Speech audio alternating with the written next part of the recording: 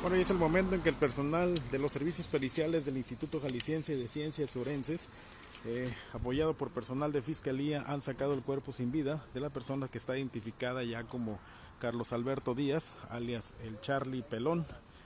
la persona de 40 a 44 años de edad, que fue localizada hace unos momentos aquí sobre la calle Politécnico Nacional en su cruce con Quimixto, aquí en la colonia Aguasarca. Las autoridades han comentado, han adelantado pues que la persona aparentemente presenta un impacto de bala en la cabeza y a consecuencia de ello pues bueno han iniciado la correspondiente carpeta de investigación. Los elementos de la patrulla PB330 como primer respondiente dieron inicio al informe policial homologado al ser enterados pues del hallazgo de la persona sin vida aquí en el interior de esta finca, una finca que le rentaban, que le rentaban a él, debido a que aquí por aquí cerca trabajaba como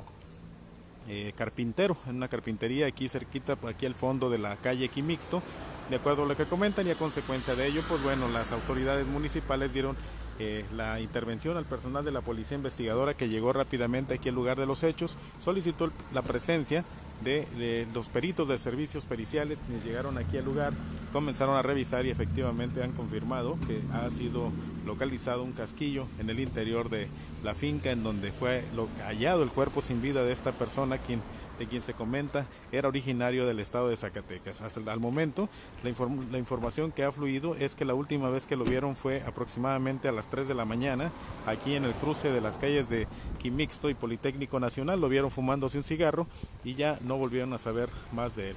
Hace unos momentos, por aquí el propietario de la finca vino a cobrarle la renta porque el día de hoy precisamente se le vencía, se le vencía el mes y al llegar aquí se dieron cuenta de que la finca se encontraba abierta, el joven no abría la puerta. Por lo tanto, pues al ver que estaba abierta, se asomaron y es cuando se dieron cuenta de que se encontraba sin vida en el interior. Ante estos hechos, pues bueno, marcaron a los números de emergencia que llegaron aquí al lugar de los hechos, eh, eh, mandaron aquí al lugar de los hechos a, los elementos de la patrulla PB330, quienes al llegar, pues bueno, confirmaron que efectivamente había un cuerpo sin vida y a consecuencia de ello, pues se generó la movilización de las demás autoridades que en estos momentos, pues bueno, ya han continuado con las investigaciones en torno a estos hechos. Soy Adrián de los Santos de Noticias PB, los dejamos con, este, con esta imagen de este caso registrado aquí en la colonia Aguasarca. Un momento más les llevaremos mayor información en nuestra página de internet de noticias PB. Muy buenas noches.